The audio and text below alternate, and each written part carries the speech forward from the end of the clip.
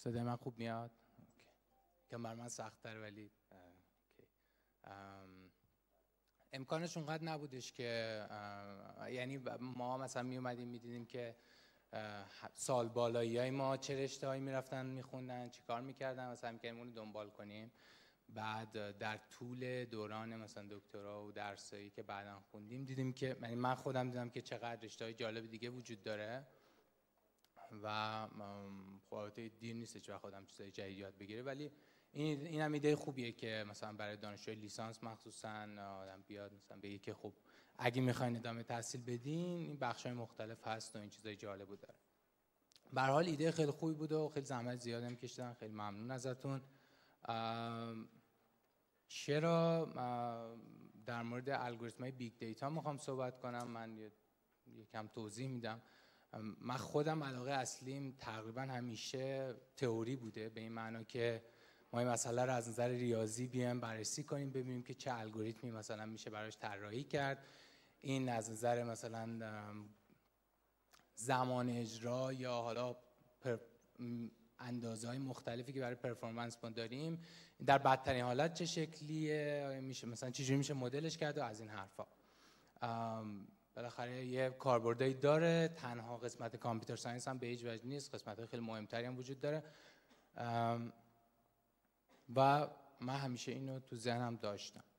در یکی دو سال اخیر بر من خیلی مثلا جالب شد که خب حالا هم مخصوصا اینکه فارغ التحصیل شدم رفتم توی شرکتی دارم یه جورایی کار می‌کنم حالا میشه گفت به شکل مشاوره است حالا. بر من خیلی اون کاربردهای این الگوریتم جالب شد اینکه بخش دیگه computer science مثلا چه چیزای جالب وجود داره اینا. و یک چیزی که چند سالی است که خیلی مهمه big data و بر من مثلا این سوال جالبی بود کلا که خب ما آخرش می‌خوایم چیکار کنیم؟ چه مسئله می‌خوایم حل کنیم؟ برای من همیشه دیدی وجود داشت که یه دید کلاسیک وجود داره و این قراره که تو این talk من یک مقداری مثال بزنم که چه مسئله های دیگه ممکنه ما توی عمل باشون برخورد کنیم و چجوری میشه باشون برخورد کرد و به چه نتایجی میشه گرفت اینا. من به هیچ وجه متخصص این زمینه خودم رو نمی‌دونم. بنابراین این انتظار رو نداشته باشین از این صحبت من که دید جامعی پیدا کنین نسبت به big data و اینا. کلا هم مفهوم گنگیه به این معنی که دیدای مختلفی نسبت بهش وجود داره. ولی من امیدوارم چیزای جالبی از توی این صحبت ها در بیاد. و کاری هم که می‌خوام بکنم آخرش این که خب تئوری چه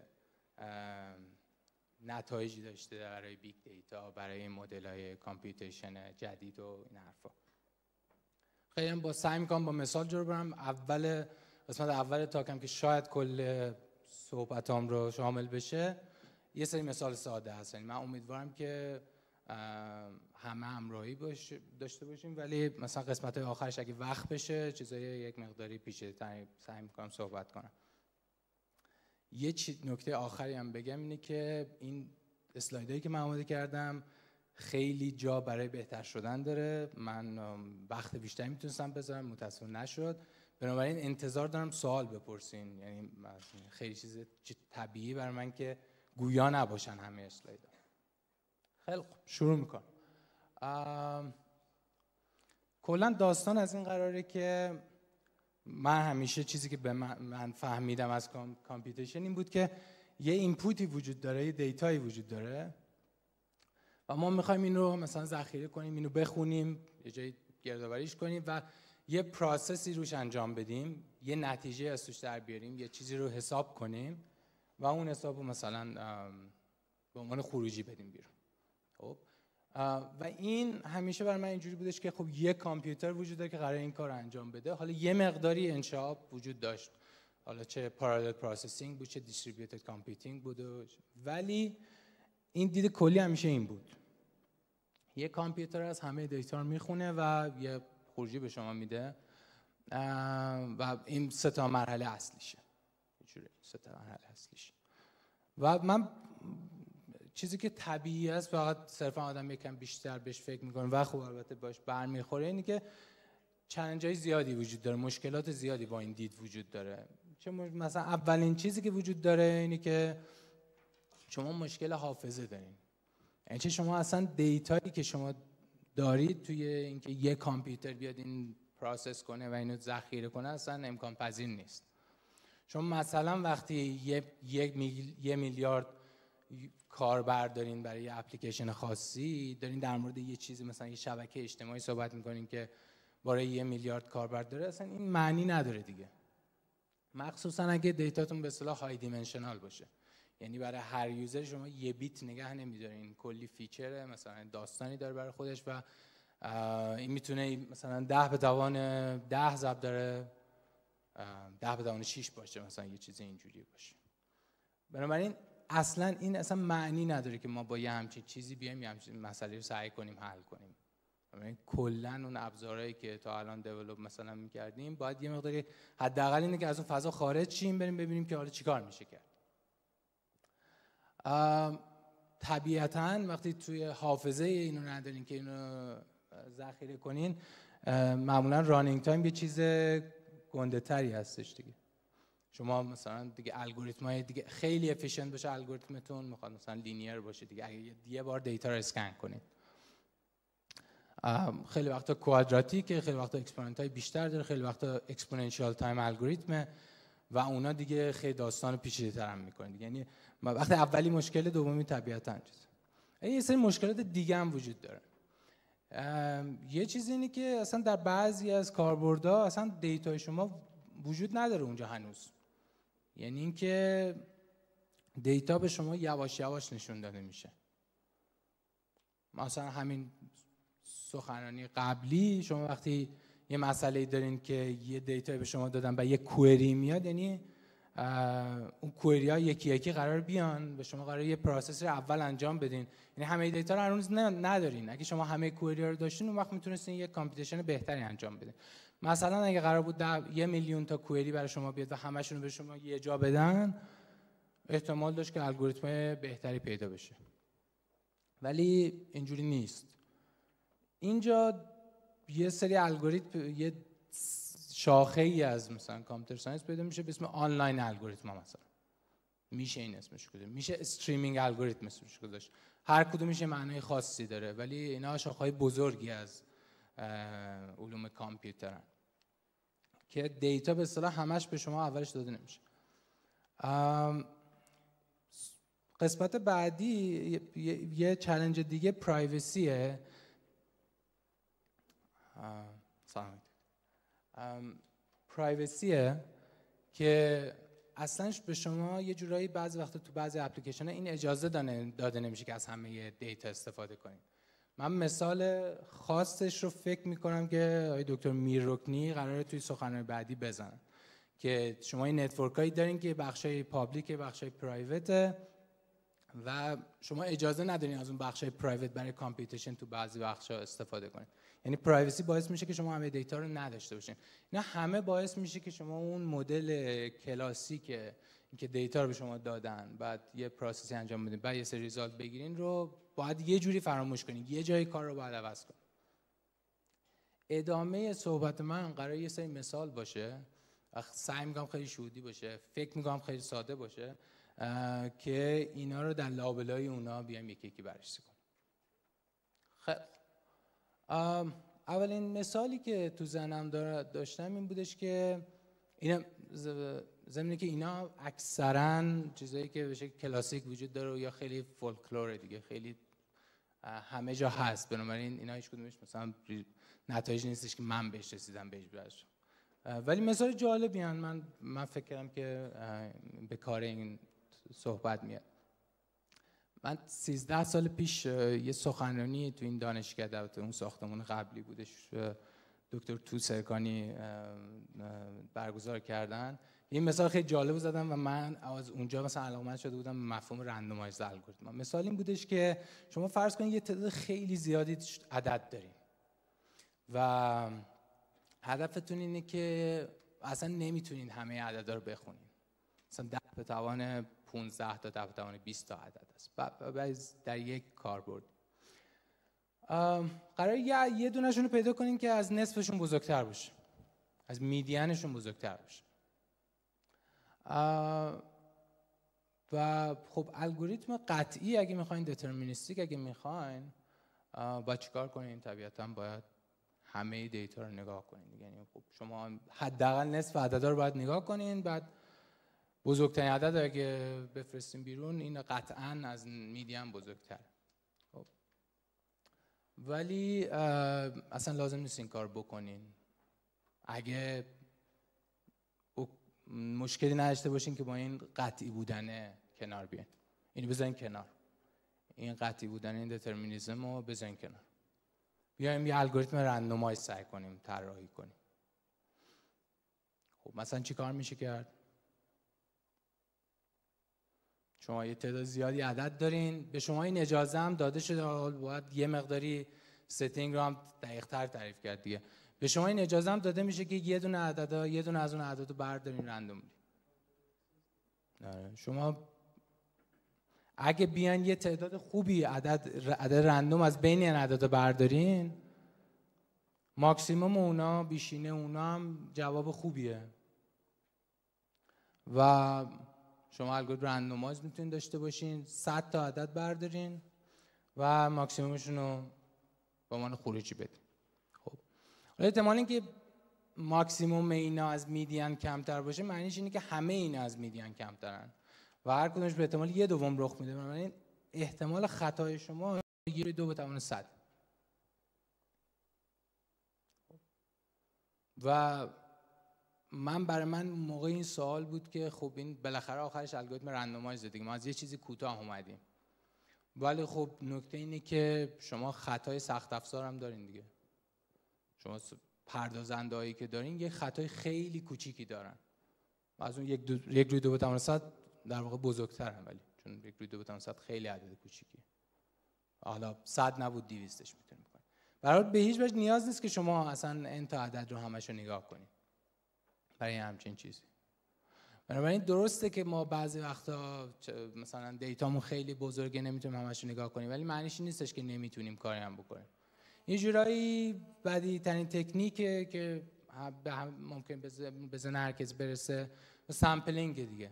یعنی شما subsample می‌کنین یعنی یه بخش کوچکتری از دیتاتون رو randomly برمیدارین و ادام و می‌تونین ثابت کنین که اونقدر خاصیت هایی رو نگه داشته که مسئلهتون رو می‌تونین همچنان حل کنین. راجع به این مثال سوالی دارین و مسئله دومی که دوباره خیلی مثال ساده ایه دلیل بر من یه نکته جالبی داشت که می‌خواستم مطرح کنم اینجا. مثال برای من اگه بر شما سوال بگم خیلی واضحه. اینی که شما یه سری مداد رنگی دارین. یه تعدادشو به نگاه می‌کنین همشو. یه تعدادشو یکی بر میداره می‌ذاره کنار. بعد شما از روی اون باقی مونده ها می‌خوایم بفهمین که چند تاشون رو برداشتن. این عمل تفریق دیگه. من اینو به عنوان یه آزمایش روی پسرمه 6 7 سالم اجرا کردم. کاری که کردم این بودش که این در یادگیریش به سطحی رسیده بود که شمارش رو می‌فهمید ولی عمل تفریق رو نمیفهمیدن و این پیچیدگی ذهن ریاضیش مثلا به اونجا رسیده بود. یواش یواش خوب دیولپ میشن فکر کنم مثلا الان سال اول ابتدایی شاید مثلا هنوز تفریق رو شاید ندونن ولی شمارش رو خیلی هم می‌دونن. مثلا مثلا تا ده بشمارن و این کار من باش که من چشام بستم گفتم مداد رنگی هایی که چند تاشو بردار و بعد بهش از روی باقی مونده بهش گفتم که چند و شگفت زده شد. براش جالب بود. نمی‌دونست که چی شد از کجا. من فهمیدم که این مثلا چند تا رو قایم کرد. نکته اینه که تو این تو این عمل ما یه کاری کردیم. گفتیم که من یه سری یه در واقع اون باقی مونده رو دیدم اون کلش هم دیدم. یه چیزی رو تو ذهنم نوشتم دیگه. گفتم اون همه رو که همه رو که دیدم میام تعداد کل رو میمیسم تو ذهنم تو حافظم نگه میدارم. ولی از روی اون می‌تونم اون اونایی که برداشته شده رو حساب کنم. در واقع این که شما یک جور sketching دارین انجام میدین. یعنی چی؟ یعنی شما دیتایی دارین میایین همش رو نمینویسین نمیگین که خب این همه مثلا اگه اینجا 100 تا مداد رنگی بود من این قابلیت رو نداشتم همه رنگ های مختلف رو تو ذهنم نگه دارم. ولی در واقع نیازی هم نیست که شما همه رنگ های مختلف رو نگه دارین. شما کافیه تعدادشون رو نگه دارین. sketch یعنی همین. یعنی اینکه شما میان یه چیز کوچکتری از دیتاتون رو یه جایی می‌نویسین از روی اون می‌تونین اون چیزی که دنبالشین رو پیدا کنین. مثال های جالبترش توی streaming application ها وجود داره. من مثلا دو تا مثال ساده میگم بعد شروع می‌کنم مثال کلاسیک streaming الگوریتم رو مثال سادهش اینه که شما یه سری عدد بین یک تا صد دارین. یعنی به شما میگن که ما همه عدد بین یک تا صد رو به شما نشون میدیم الا یکیش رو. اون یکی رو برای ما پیدا کنیم خب؟ این یک کم کار سختی که من همه اون عدد یک تا صدی که به من نشون داده شده رو تو ذهنم نگه دارم. بعد بگم خب کدومش نبود. یه کار ساده میشه کرد. شما فرض کنین تعداد بیت های حافظتون کم. مثلا ما اون جایی که قرار بنویسین یه تعداد بیت کمی به شما دادم لازم نیستش که همه مثلا اگه من بخوام تمام اون 99 تا عدد رو حفظ کنم مثلا 99 تا 7 بیت. مثلا میشه 600 بیت فرض کنم. خب. من می‌خوام با خیلی تعداد کمتری بیت این کار رو انجام بدم. چیکار می‌تونم بکنم؟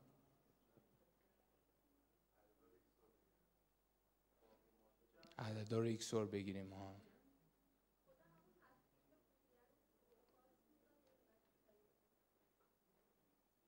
هفت بیت بولیان چیکار می‌کنیم؟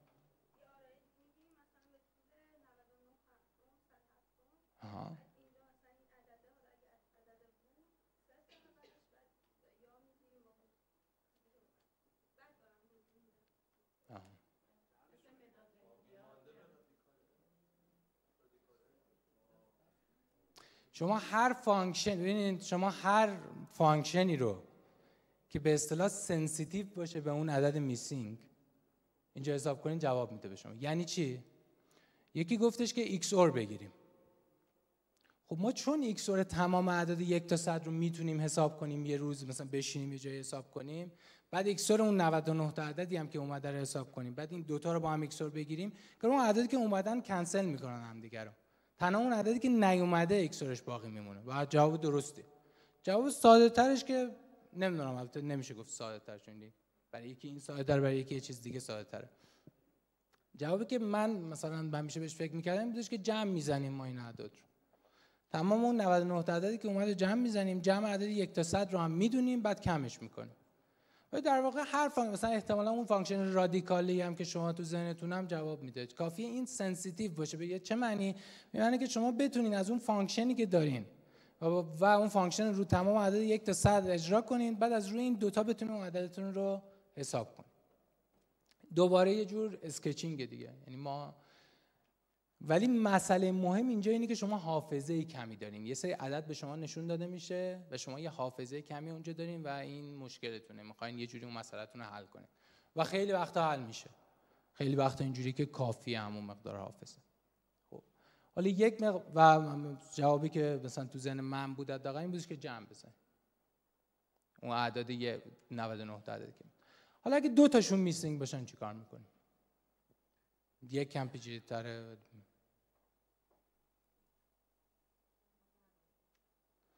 می‌تونین یه،, یه مقداری انگار دو تا مجهول داریم دیگه. جمع و اکسور می‌گیریم. من نمی‌دونم اون جواب میده حتما یعنی همیشه جوابش یک تا یا نه. آره من آره مثلا اون جمع و اکسور احتمال داره که جواب بده. و دو تا معادله باید جواب بدین که همیشه به شما جواب یکتا بده. مثلا حالا اینو اگه با نگاه آماری بهش نگاه کنین ما انگار اینجا moment اول رو داشتیم جمع بزنیم شما moment دوم رو هم می‌تونید جمع بزنین و مثلا یه جور انگار میانگین واریانس رو دارین حساب می‌کنین انگار. شما توان دوهای اینا رو جمع بزنین و جمعشون باید جواب میده. ولی هر دوباره هر جور function دیگه حساب کنین. که در اون حافظتون بگنجه گار اوورفلو نده جواب میده دیگه. خب حالا یک کم از این مسئله پازلی که بخوایم دورشیم امیدوارم یکم ذهنتون آماده شده باشه که برای اینکه خب ما داریم تا در چه فضایی صحبت می‌کنیم. الان من یه مقدار دیگه صحبتم راجع به استریمینگ الگوریتما میگم و امیدوارم که یک کم فرصت شه که به آنلاین الگوریتما و مثلا دیستریبیوتد فریم ورک و این چیز بخش مختلفی که برای من حداقل جالب بود برسه دو تا مثلا دو تا مسئله کلاسیک که من بتونم پیدا کنم تو streaming یکیش counting یکیش تعداد اعداد مختلف رو پیدا کردن. برای من خیلی مسئله جالبی بود اخیرا هم باش آشنا شدم. اینی که یه سری صفر یک به شما میدن میگن صفر یک یکی یکی داره میاد. و به شما میگن تعداد صفرها رو بشمارید یعنی یک کاونتر در واقع. خب؟ خب کاونتر خیلی کار پیچیده ای نیست دیگه. ما یکی یکی این عددا رو می‌بینیم و اگه صفر بود کاونترمون یکی می‌بریم. ولی یک بود کاری نمی‌کنه. خب اگه n تا بود تعداد صفراتون چقدر بیت حافظه نیاز دارین؟ لاگ n بیت حافظه نیاز دارین. خب لاگ اولین سوال اینه که مثلا با کمتر از این میشه. مثلا فرض کنین عددتون میگن تعداد صفرا فوقش از دو به توان پنجاه. یعنی یه عددی بین صفر تا مثلا دو به توان پنجاه منهای یک مثلا. خب؟ این الگوریتم به شما با پنجاه بیت این مسئله حل می‌کنه. خب؟ یه سوالی که هست اینه که خب با کمتر از 50 بیت میشه؟ با کمتر از لاگ ان بیت میشه؟ این کار کرد یا نه؟ این یه, یه چیزی هم مهمه تو استریمینگ الگوریتم. ما فقط به جواب آخر نگاه نمی کنیم این استریم ممکنه استریم یعنی چی؟ یعنی ممکنه هر لحظه قطع شه. خب؟ و جوابی که شما در لحظه داریم باید جواب درستی باشه. مثلا اگه در صفر یک که اومد قطع شد شما باید جواب یک رو بگین. اینجا دو باشه سه باشه چهار باشه دوباره چهار چهار. همیشه باید جواب شما درست باشه توی این مسئله مثلا. خب. یه سوالی که هست که با کمتر از لاگ ام بی تا میشه من یه سوالی فقط بپرسم. چقدر از شما درس الگوریتم یا دیتا استراکچر گذروندین؟ یه مقدار خوبیتون گذروندین. خب.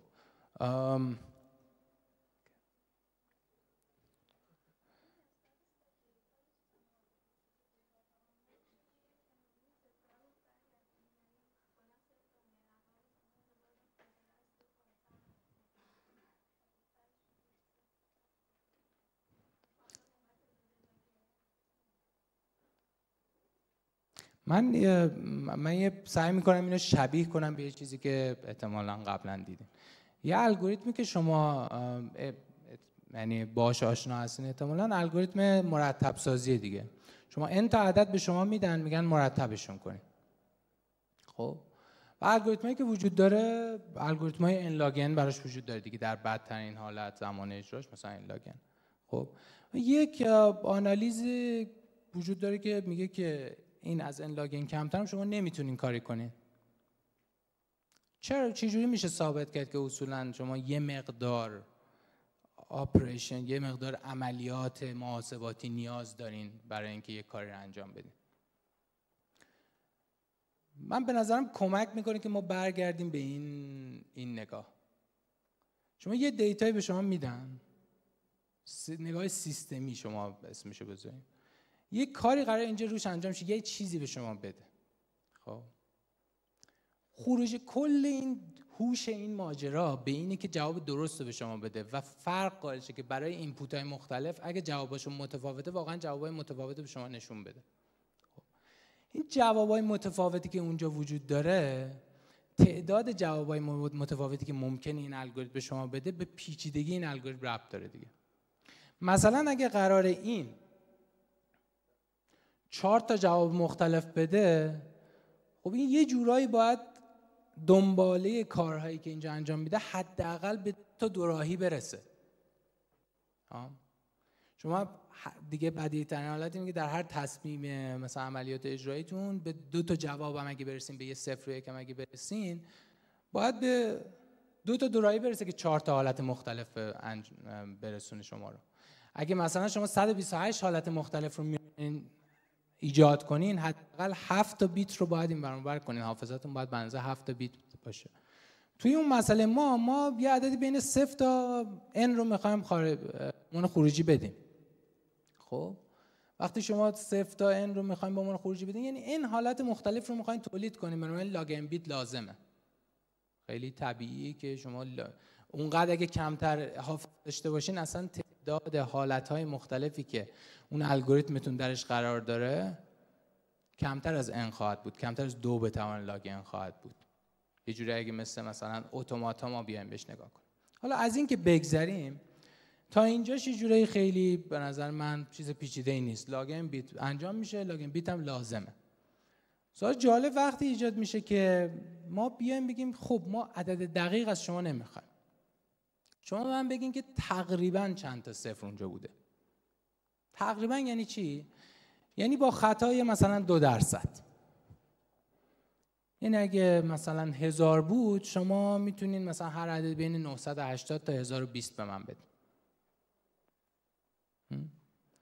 اگه من اون این دقت رو دقتی که نیاز دارم و بیارم پایین احتمال داره که دیگه لاگن بیت لازم نباشه. ممکنه با کمترش هم بشه انجام داد. خب. حالا کاری که میشه کرد و واقعا اینه که یه الگوریتمی وجود داره که این کار رو بر شما با خیلی تعداد کمتری بیت انجام میده. دقیقا سوالم اینه که شما یه جواب دقیق می‌خواین و می‌خواین با قطعیت اون جواب رو داشته باشین لاگن بیت لازم. ولی من از این دوتا می‌خوام بگذرم. می‌خوام بگم با خطای دو درصد و با احتمال مثلا 90 درصد. یعنی ده با احتمال ده درصد هم ایراد نره کلا الگوریتم یه چیز اشتباهی بده. به احتمال ولی 90 درصد اون بازه خطا می‌خوام دو درصد باشه خب ما خیلی وقتا با یه همچین مسئله مواجهیم یعنی می‌خوایم از یه چیزی بگذاریم که جواب بهتری. دقیقا. اگه من دارم خیلی مسئله رو ساده‌تر می‌کنم میگم حتی خطای من فرض کنین n جواب درسته n پرایم جوابیه که من قرار به عنوان استیمیت هم بدم. میگم آقا این بود جواب به نظر من. اون خطای من یعنی تفاوت n پرایم و n میگم از n روی n سوم احتمالی که بیشتر باشه فوقش 10 درصد باشه. یعنی با احتمال 90 درصد خطای من زیر 33 درصد. خیلی دارم چیز ساده ای می‌خوام این وسط. خب. ولی بعدا می‌فهمیم که این با اون 99 درصد با خطای نمی‌دونم یه درصد فرقی نداره خیلی. به خاطر اینکه شما می‌تونین یک یه, یه تکنیکی اینجا اجرا کنین که این عملا با اون ردیوس بشه. ولی فعلا شما فرض کنید ما یه همچین چیزی می‌خوام. خب. یه الگوریتمی هست که با لاگ لاگ ام بیت این کار انجام چیکار می‌کنه؟ بزن اول شهود بدم که چرا لاگ لاگ امبید لازمه. یعنی شما وقتی خطای یه سوم می‌خواین یعنی شما باید فرق این که n مساوی دوه یا چهاره یا هشته یا 16 این توانایی دو رو حداقل با هم بتونین جدا کنین. شما اگه جوابتون هشت باشه و جواب چهار بدین دیگه این تو مارجین خطا نیستین. شما دارین دارین خطا میدین. بنابراین من اینجا حداقل چیزی که از شما می‌خوام اینه که فرق توانایی دو رو با یه با احتمال خوبی به من بگی. خب.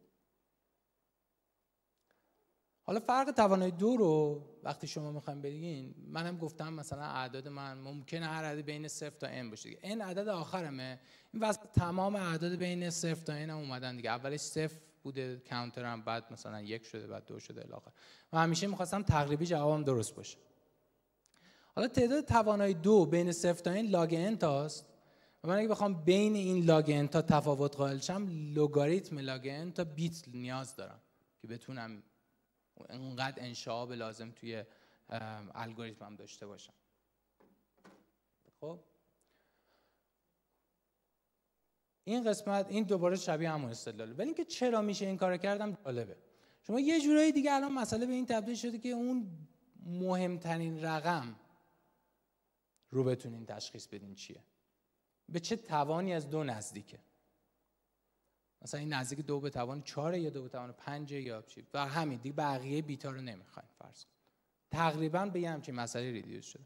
و این کار رو تقریبا میشه کرد. چجوری میشه این کار انجام داد؟ شما یک کانتر x در نظر بگیرین. به جای که هر دفعه قبلا اگه یه صفر می‌دیدیم x رو زیاد می‌کردیم. خب؟ الان اگه صفر ببینیم با احتمال یک روی دو به توان x x رو زیاد می‌کنیم. و این چی میشه؟ مثلا شما فرض کنید سیکونس اینجوری میاد. اولش که کانترتون صفره. این اولین صفر رو می‌بینین یکش می‌کنین. و یه مدت صبر می‌کنین یعنی یه مدت یک می‌بینین و صفر می‌بینین ولی همچنان سکه که میندازین با احتمال یک روی دو به توان ایکس نمیاد. بنابراین کانترتون زیاد نمی‌کنین تا اینجا. و این برای صفر بعدی صفر سوم کانترتون از زیاد می‌کنین یعنی بسته به اون نتایج سکایی که میندازین و هر از چندگاهی انگار دارین اتفاق میفته و نکته اینه که مثلا وقتی فاصله بین دو تا سه یه مقداریه مثلا اینکه از سه بریم به چهار خیلی بیشتره. چرا؟ تعداد صفر خیلی بیشتری باید ببینیم که برین چهار. چون چون دیگه با احتمال یک روی هشت وقتی ایکستون سهه به احتمال یک روی هشت اون ایکس رو دارین زیاد می‌کنین. هرچی جلوتر میره به شکل نمایی دیرتر و دیرتر counter تون update می‌کنین میبرینش بالا. خب. و یه جور این شهود رو داره که خب من وقتی سم هشت تا طول می‌کشه که برم تا چهار. بنابراین حالا چهار اگه باشم 16 تا طول می‌کشه که تا برم پنج. حدودی ها. همش یه چیز رندومایز. خب. بنابراین این کانتره در واقع تعداد صفر رو داره نگه نمیداره. داره دو به توان x دو به توان x هست که n رو داره ترک می‌کنه. یعنی تعداد صفر از روی دو به توان این کانتر در میاد. مثلا وقتی دور بر سین تعداد بیتای صفری که دیدین تا الان احتمالا 8 این مثلا 16 و الی آخر. یه جورایی اون مفهوم کانتر رو عوض کردیم دارین لگاریتم رو زیاد ترک می‌کنیم و حالا نکته اینه که واقعا میشه ثابت کرد که expected value این دو به توان x همه n به توان n به یک. بنابراین چیزی که ما باید به عنوان خروجی بدیم اگه بخوایم unbiased estimator داشته باشیم دو به توان x منهای یک می‌کنیم خب؟ بین حالا نکته اینه که اینجا به بعد ماجرا دیگه وقتی شما وارد تکنیک های randomize نمیشین یه مقدار خوبی احتمالات باید استفاده کنین دیگه. مثلا همین جاش من خب باید این این این expected value داره در واقع میانگین من نشون میده دیگه. ولی من اگه بخوام همیشه دو بدم x منهای یک به اون خروجی بدم یعنی یا 7 میدم به اون خروجی یا 15 میدم یا 31 یا الی آخر. و شما نباید از یه همچین estimator ی انتظار داشته باشین که جواب خوبی همیشه به شما بده دیگه. مثلا اگه واقعا کانترتون تعداد صفرایی که دیدن 23 خب این وقت جواب خوبی به شما نمیده. به این معنی که دیگه 15 هم بده خیلی دوره 31 هم بده خیلی دوره از 23 خب؟ و ما این انتظارم نداریم از این estimator. خب؟ چه سوالی که پیش میاد که خب حالا واقعا خب این bias نداره ولی خب دقتش چقدره؟ من چجوری می‌تونم بیام دقت و error probability خطام رو اندازه بگیرم؟ چه بدیهی ترین که میشه کرد که شما بیاین concentration bound استفاده کنید یعنی چی؟ یعنی نامساویایی که به شما کمک می‌کنن بفهمید که اون عددتون اون متغیر تصادفیتون چقدر تمرکز داره دور میانگین. یعنی چقدر واریانس داره چقدر بالا پایین میره. این واریانسش اصلا کم نیست. یعنی یه وقت 15 یه وقت 31 در این حد مثلا با یه نسبت دو واریانس داره. خب و مثلا بخواید ثابت هم بکنید چیزی اینه که یعنی الان اون انحرافتون از میانگین اون عدد انحرافتون از اون عددی که دنبالش بودینه؟ مثلا میگین انحراف برای اینکه احتمالی که از تقریبا از n بیشتر نشه از 45 درصد باشه. اصلا باند خوب نامساوی خوبی نیست ولی بالاخره یه چیزی. من ادعام اینه که توی این مثال این رو قوی تر کردن این نامساوی قوی تر کردن کار پیچیده نیست. چرا؟ چون شما این آزمایش رو می‌تونید به شکل مستقل دوباره انجام بدید. یعنی چی دوباره انجام بدید خود ما دوباره stream رو نمی‌تونیم از اول بیاریم. ولی شما دو تا کانتر نگه دارین x نگه دارین y نگه دارین تا بیشتری و اینا رو به شکل مستقل از هم update کنین. X y z الی آخر خب؟ جایی که می‌تونین یه آزمایش رو به شکل مستقل انجام بدین معمولا این مشکل رو می‌تونه حل کنین concentration bound خوبی می‌تونین بگین. چرا؟ شما یه متغیر تصادفی هر بد distribution تقریبا داشته باشین شما بیاین هی ازش sample بردارین. بعد میانگین این sample ها رو بگیرین. خب؟ این اگه تعداد sample هایی که می‌گیرین مثلا بی نهایت میل بدین به شدت متغیر تصادفی متمرکزی میشه. یعنی واقعا اون میانگینی که دنبالشین رو estimate می‌کنه براتون. اینجا هم همین کار لازمه بکنین. تکرار می‌کنین و میانگین می‌گیرین. یه دفعه 15 میشه یه دفعه 31 میشه و میانگین این دوتا رو می‌گیرین. این کار اگه انجام بدین تمرکز اون متغیر تصادفیتون روی اون جایی که روی اون میانگینی که دنبالشین خیلی زیاد میشه. دقیقا اگه شما چند تا استیمیتور رو با هم ران کنید واریانس رو کم می‌کنه و واریانس رو که کم می‌کنه مثلا بدیهی ترین چیزش اینه که مساوی چبیشف می‌تونید استفاده کنید بعد باند خوبی بهتون میده. خب. سوالی راجع به اینه. بفرم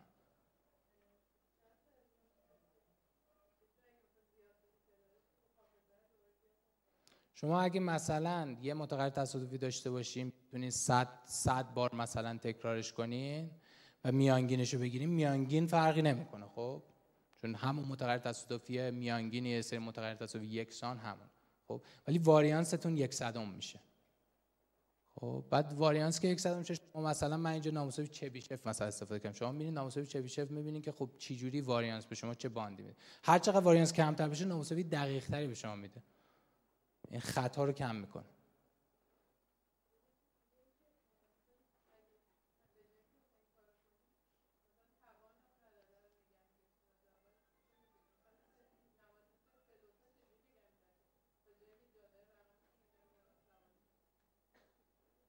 یعنی به جای اینکه سه نگه داریم نگه داریم یک صفر صفر مثلا صفر یه همچین فرق شما دارین به اصطلاح نوع نمایش همون مفهوم رو عوض می‌کنین اینجا مفهوم یکیه. هر جوری می‌خواین نگهش دارین مفهوم هم فرقی نمی‌کنه خوب آره فرق نمی‌کنه. چرا با یه احتمالی زیادش می‌کنم دیگه با یه احتمال شما اگه میگین دو به توان سه با یه احتمال یک روی هشت من میکنمش دو به توان چهار. ولی نوع نمایش که خیلی مهم نیست اینجا. ما مفهومش اینه که شما فقط اون بزرگترین توان رو نگه تعداد ارقامی که نیاز دارین نگه میداریم براش. اینجوری. خب سوال دیگه ای؟ خیلی من مثال رو هم خیلی فرصت نیست. ده دقیقه وقت دارم. من می‌تونم یه کاری که بکنم اینه که این مثال رو سریعتر بگم و برم سراغ حداقل یک یه یه, یه مدل مسئله های آنلاین الگوریتم رو بیام بگم. چی جوریه؟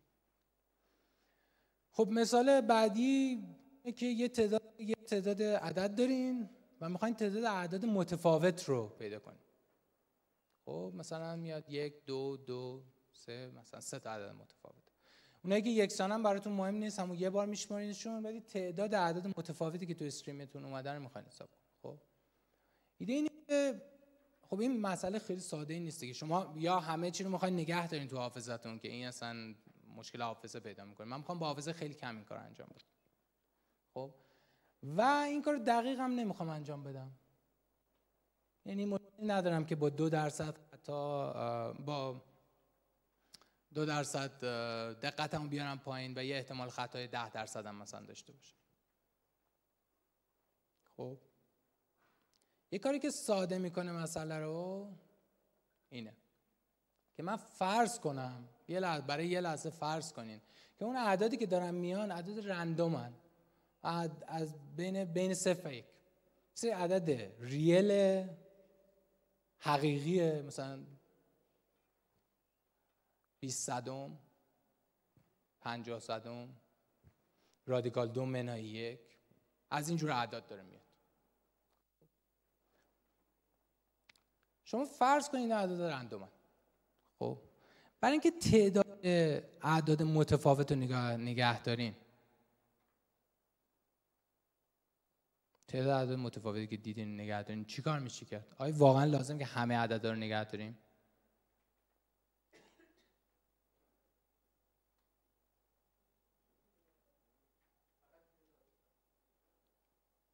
یه یه دید اینه که بگیم خب اینا اگه عدد واقعا رندومن احتمال اینکه یه یکسانی ما ببینیم صفره. شما بین صفر یک عدد رندوم بگیریم صفر. بنابراین من کلش عدد متفاوتم فقط تعدادش نگه ولی راستش بخوایم من منظورم از این مثالی نبودش و خب این اولین چیزی که به ذهن می‌رسه و درست هم هست این جواب. منتها من میگم این که این اعداد واقعا متفاوتن رو استفاده نکنیم بیم از یه چیز دیگه استفاده کنیم. اونم اینه که وقتی که حالا یه سوال دیگه اینه که تعداد رو وقتی بخوایم نگه داریم تعداد رو بخوایم نگه داریم آیا واقعا لازمه که اون کانتر که اون شمارنده که تو مثال قبلی دیدیم رو بیایم هی مینتین کنیم؟ یا میشه کار بهتری کرد؟ ببینید من اینجا دارم یه فرض بزرگی می‌کنم که این عدد رندوم میره صفر من یه احتمال وجود داره که شما واقعا نیاز نباشه که حتی اون شمارنده هم update نگه دارین. خب اینه که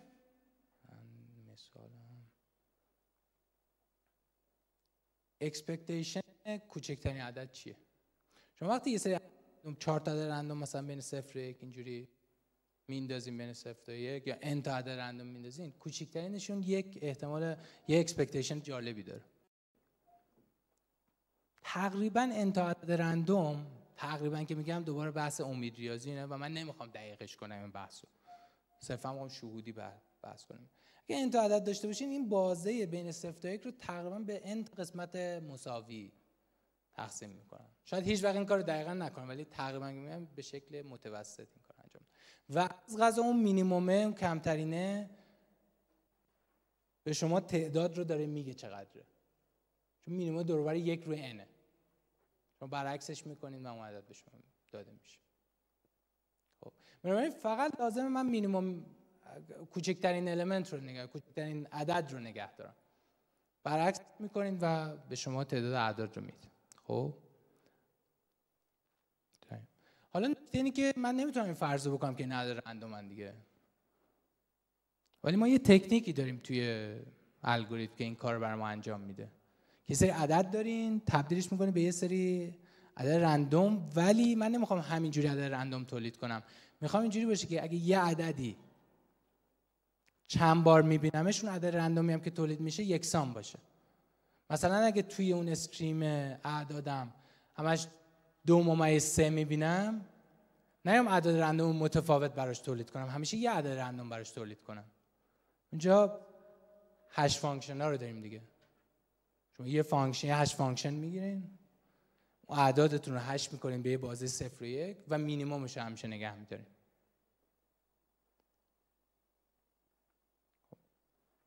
و این دقیقا اون فرضی که ما کردیم که این اعداد random میره صفر کردن به ما داره میده. جالبش هم اینه که اگه اعداد یکسان باشن hash اون function هم به ما یه عدد یکسان random میده. نمیاد چند عدد مختلف بده که اون estimation مون قرار خیلی خب من یه چند دقیقه راجع به online algorithm صحبت می‌کنم و جمع بندی می‌کنم دیگه. اگه اشتباه نکنم 11 باید تموم کنم. درسته؟ من نمی‌دونم که مدیر برنامه. خب این یک کم از اون فضای streaming و خیلی تئوری محض اینا می‌خوام در بیام. می‌خوام بگم خب حالا data رو همش نداشتیم چون یه stream بود. یا حالا می‌تونین اسمش بزنیم چون یه آنلاین یه مثلا آنلاین بود یه بخشی از data رو دارین یه بخشش رو ندارین. من دیگه می‌خوام متمرکز شم روی اپلیکیشن خیلی خاص. و راجع به این صحبت کنم و بگم که چرا مثلا online algorithm برای این اپلیکیشن معنی داره. اپلیکیشن هم sponsored search ه. شما search engine ایی که استفاده می‌کنین من طبیعتا اینجا مثال گوگل رو آوردم. من نمی‌دونم شما چی استفاده می‌کنید ولی اینجا یه keyword ی من search کردم trains to New York. این برای یه جای دیگه آماده شده بود. اینجا خیلی شاید معنی نداشته باشه چون یکم سخته با از اینجا با قطار رفتن نیویورک. ولی شما فرض کنین یه جای هستین این اینو search کردین. و یه خب طبیعتا search engine کارش چیه؟ میره سری نتیجه تو وب پیدا می‌کنه به شما نشون میده دیگه. خب بعد مثلا اولیش ad advertisement یعنی تبلیغات فرض کن سری تبلیغ هم به شما نشون داده میشه دیگه. خب من دارم خیلی چیزا رو این وسط ساده می‌کنم بحثای مثلا game theory شو می‌ذارم کنار بحثای machine learning شو می‌ذارم کنار. دارم روی قسمت خیلی خاص ساده شده این دارم صحبت می‌کنم. برای خب جالبه. یه نگاه کلی یه دسته‌بندی کلی که بخوام بکنم تو این جور advertisement ها اینه که شما یه سری sponsored search advertisement دارین که تو search engine ا هستن. اما search engine ا اینا براشون auction run میشه. یعنی مثلا سری advertisers شرکت میرن میگن که بیاین تبلیغ ما رو نشون بدیم ما اینقدر حاضرین پرداخت کنیم از این حرفا. و یه auction ی run میشه حراجی میشه ولی این عمل داره آنلاین انجام میشه با یه الگوریتمی. و به مثلا بالاترین bid شما فرض کنید که این داده میشه و از این حرفا. و بر اساس اینکه شما کلیک بکنید یعنی اون کاربر روی اون تبلیغ کلیک بکنه یه هزینه رو اون advertiser اون تبلیغ کننده اون شرکته که اسپانسر کرده در واقع این search رو میاد به مثلا search engine که حالا گوگل باشه مثلا وسط میده خب. اون ور شما یه سری داستان دیگه دارین که بیشتر تو display advertising تو media ممکنه بشه اسمشو گذاشت هستن. ولی تو حالا جای دیگه هم هستن. ولی فرض کنید اینا contract based ن یعنی قراردادایی هست میاد مثلا شرکت یه شرکتی میاد میگه تبلیغ این تبلیغ منو یک میلیون بار مثلا به این کاربرا به این نوع کاربرا نشون بده و من حاضرم اینقدر بهش برای به شما پول بدم در ازاش دیگه آکشن و اینجور چیزا نیست. یا حداقل دو تا دستبندی نسبتا بزرگ این وسط وجوده که اینا چرا دستبندی برای من این مهمه؟ چون اینا نتایج الگوریتمیش فرق داره. مسئله ای که شما از در الگوریتمی تعریف می‌کنیم فرق ولی خب دستبندی دیگه هم طبیعتا وجود دارن دیگه. و مارکت خیلی بزرگی. من لازم نیست که مثلا بگم که چند میلیارد دلاری و و خیلی market وسیع متنوعی از این جهت که مثلا شرکت های مختلفی وجود دارن و خیلی سایزش هم بزرگ. خب؟ حالا چرا سایزش بزرگ مهمه؟ چون دیگه اون وقت دوباره همون مسئله پیش میاد که توی ماشین fit نمیشه. اصلا بحث این که data جای مختلفه. این تمام فضای کلاسیکی ما توشیم باید خارج شیم ازش دیگه.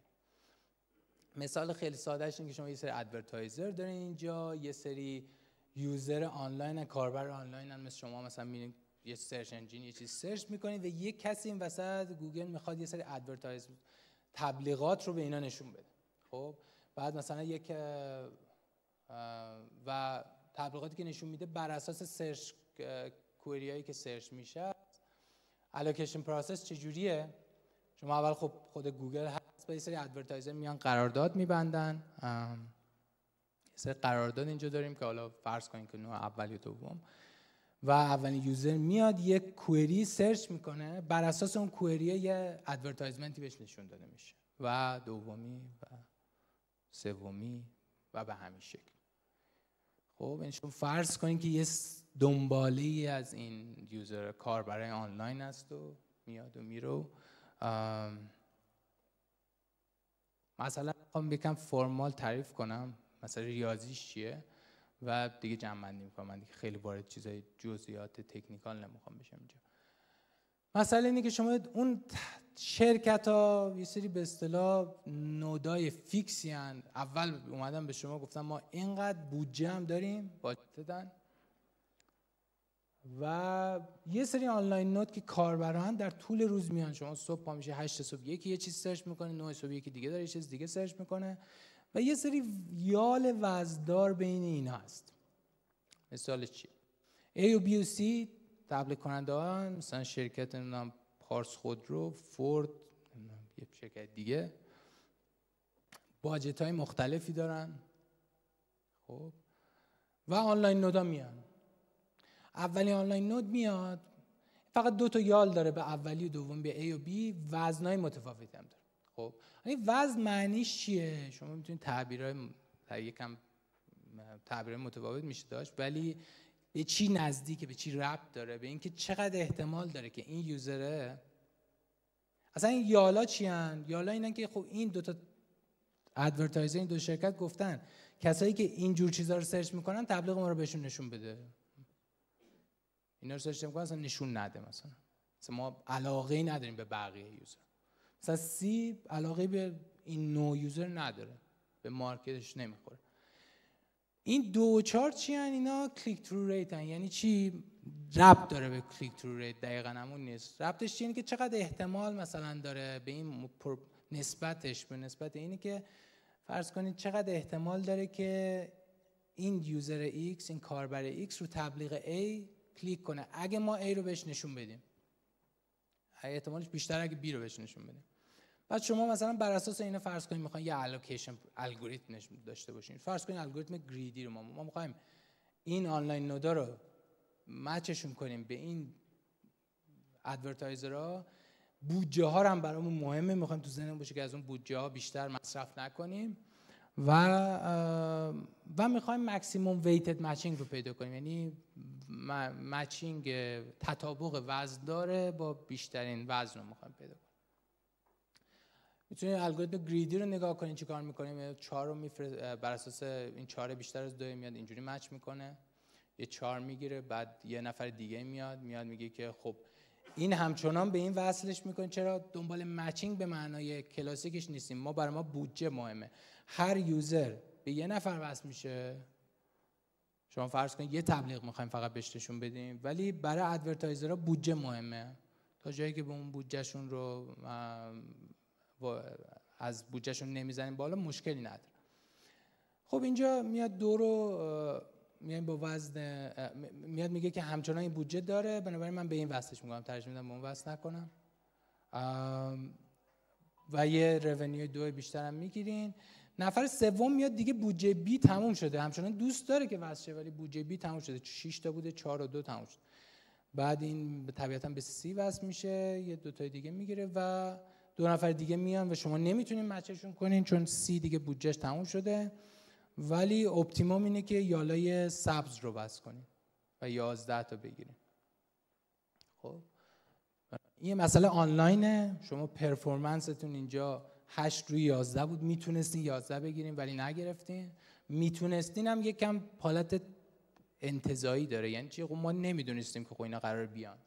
ولی اینجوری داریم تعریف می‌کنیم. یعنی به شکل توی مثلا توی لیترچر یه همچین اینجوری تعریف شده. ولی می‌تونین تعریف های دیگه هم داشته باشین اگه جالب باشه. یه نوت به چی ربط داره پرفورمنس به اینکه اصلا چه گراف دو بخشی ما داریم چه یالا و چه وزنا اینجا به یه چیز دیگه هم ربط داره اونم اینه که این نودا دارن با چه ترتیبی میان. من اگه اینجا زی اول می اومد خب زی رو به بی وصل می‌کردم دیگه اینا هی نمی‌رفتم به بی وصل هر کی می‌رفت سر جای خودش. یعنی اون باتلنک که بی بود مشکل اینه که مچش که زی بود نیومده بود اول. خیلی دیر اومد وسط کار من. به این ربط داره که مثلا کی میان. خب؟ و دو نوع ما اینجا چون الگوریتم آنلاین داریم دیگه نمیگیم approximation ratio چقدره نمیگیم performance رو اسمش رو نمی‌ذاریم 8 11 اون نمیگیم approximation ratio این الگوریتم این instance انقدر بود.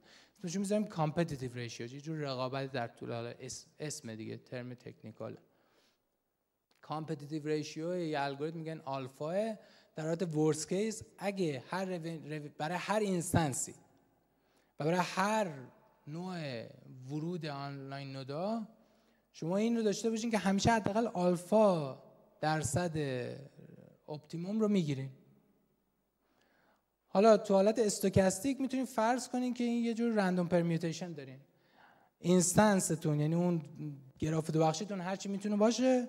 ولی اگه فرض کنین که این node ا دارن به شکل آن random permutation میان اون وقت می‌تونین این رو یک مقداری ساده ترش کنین بگین که expected revenue چقدره. آلفا درصد revenue optimum ه.